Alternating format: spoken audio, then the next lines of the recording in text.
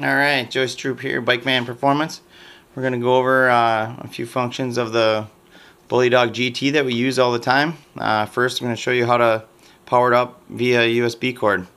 So you can just plug the USB cord into the side of it, and it will power up just like it's connected to the battery or hooked to the machine.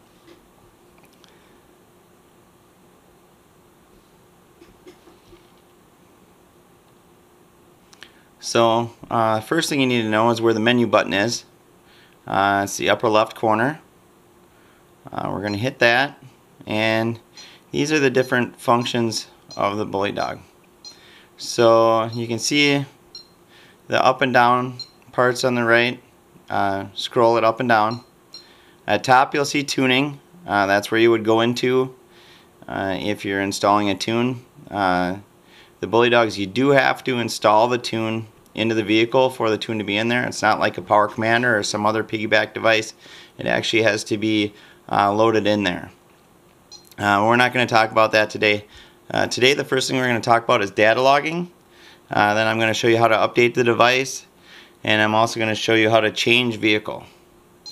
So first let's go to data logging and you'll see when we go into data logging uh, you have uh, three different options here. Uh, you can start data logging.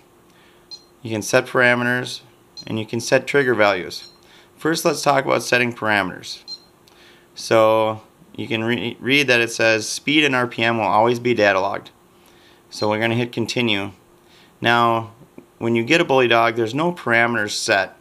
Uh, this particular one is set up for a snowmobile so we'll see snowmobile parameters while we're in here so first thing we need to do is select what we want to data log.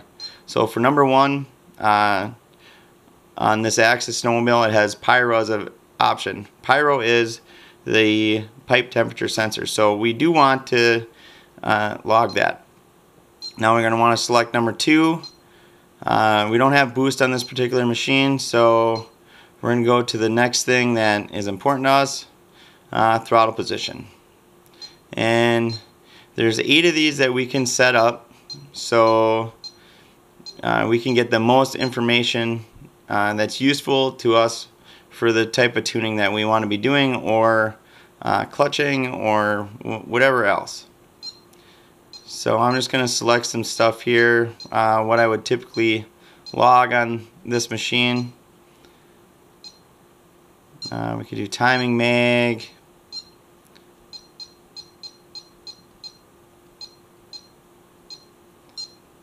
timing PTO. And then another thing I like to log is uh, how much knock retard. And that'll tell us if it's trying to take away timing due to knock, which is very important uh, function of how we set up these bully dogs.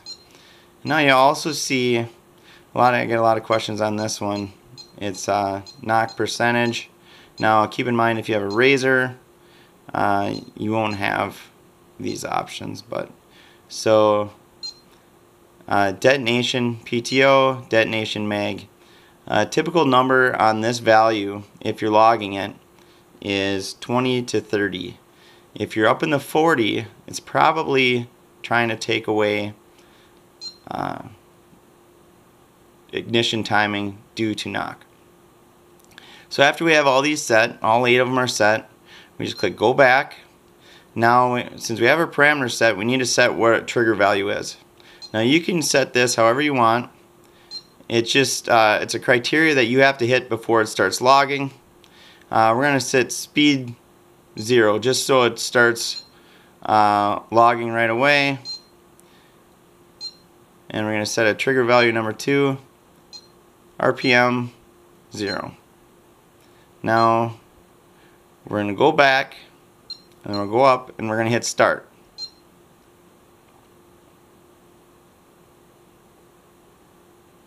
And now once it goes to this screen after it says initializing communication, it is logging. So now even though our values are zero because we're not hooked to a vehicle, it's recording this. It'll record for uh, quite a while, like 10 to 15 minutes, and and you can get uh, multiple logs on the same card.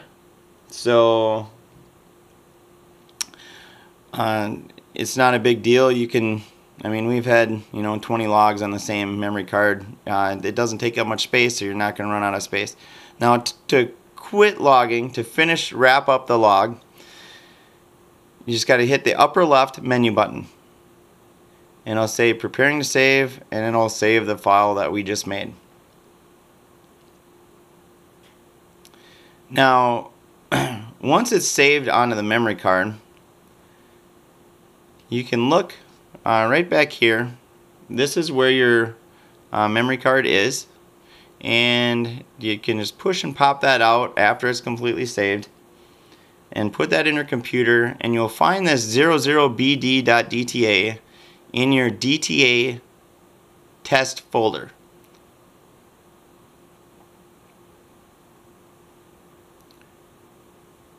And then you can use our logger software found on our website to open up and view the log file.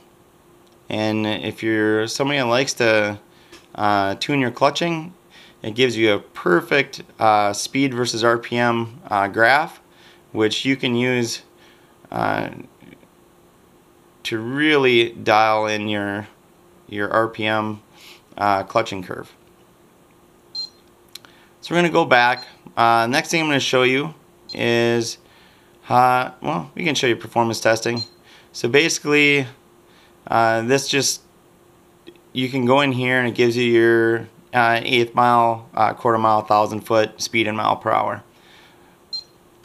Now, we're going to go to uh, update device software next.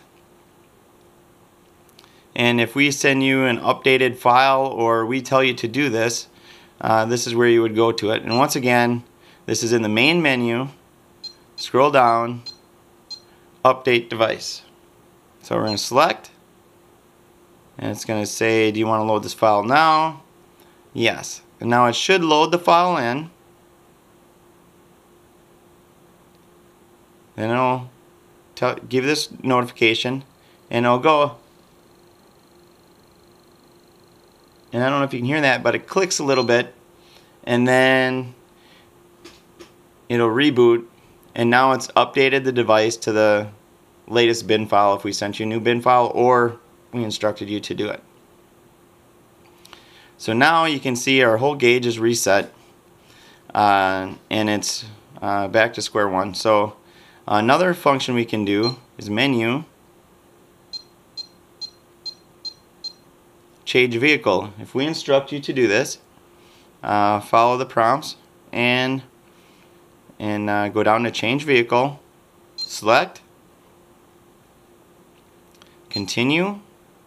Uh, since we only have these for Polaris, Polaris will be our only option. And now if you're a UTV customer, you would go into the UTV or if you're an RMK or snowmobile customer, you would go into the RMK.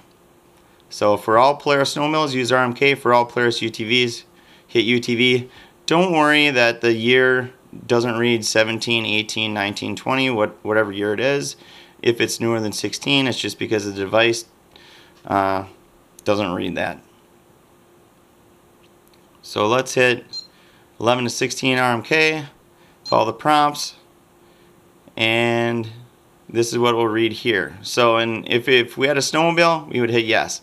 Now let's just go back and say we have a UTV. Uh, this is our UTV. Now it says 11 to 16 RZR Ranger. Now this really means RZR Ranger and General or Ace. The only one you would run uh, the turbo setting would be if it's an XP turbo uh, 16 or newer. So we're going to go back. This is going to be in a snowmobile one, so we're going to leave it snowmobile and click yes. And then it'll do just like we updated the device. It'll load the file in and it'll switch all the settings for a snowmobile because that's what we chose. And it'll reboot just like before.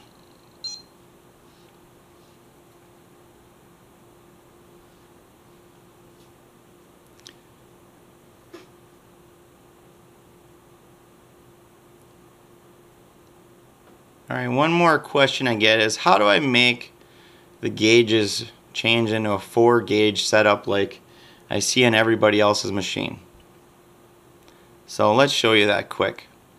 We're going to hold down the gauge button until all four pop up. Now say you want to change these to what you want them to read.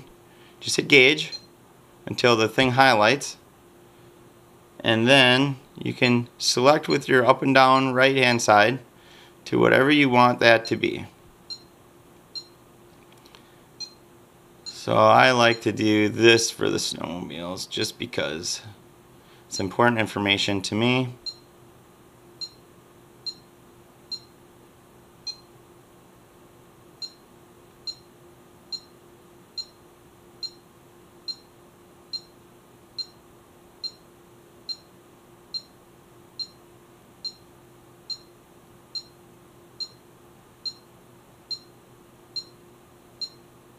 And you see it'll scroll right back around to the beginning.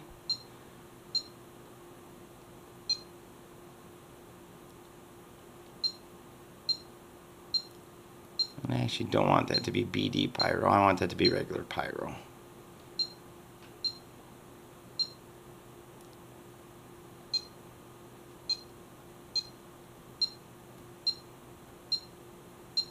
There.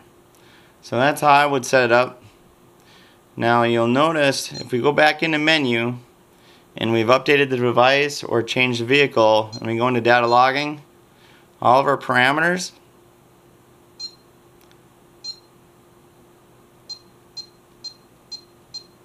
are still there. So uh, if you were to change vehicle to a like from a snowmobile to a RZR, uh, then these would all be reset. But we're still ready to data log. That's a brief tutorial today on the Bully Dog GT tuner. I uh, hope you enjoyed it. Check all our stuff at www.bikemanperformance.com and we'll see you next Tech Tuesday.